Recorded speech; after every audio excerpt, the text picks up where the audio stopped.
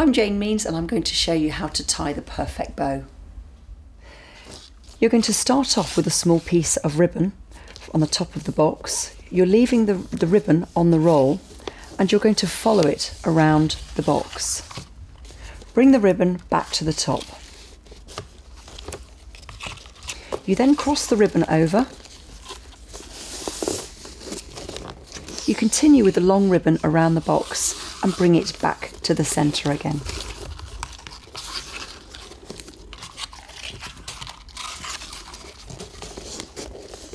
I then measure with that small piece there and cut. Make sure you've got some sharp scissors and tie a little bit of ribbon on so they know that you're your ribbon scissors. With the end, I'm going to just tuck it under and pull it back. To tie the bow, first of all, I'm going to add a decoration. I'm tying that in.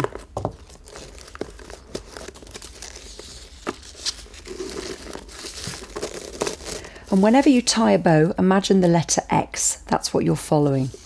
So start tying the bow. It doesn't matter which way you tie it. And before you pull the bow tight, just take a, a pause and make sure that you have that letter X. Pull the bow tight and make sure that you cut the ends at an angle.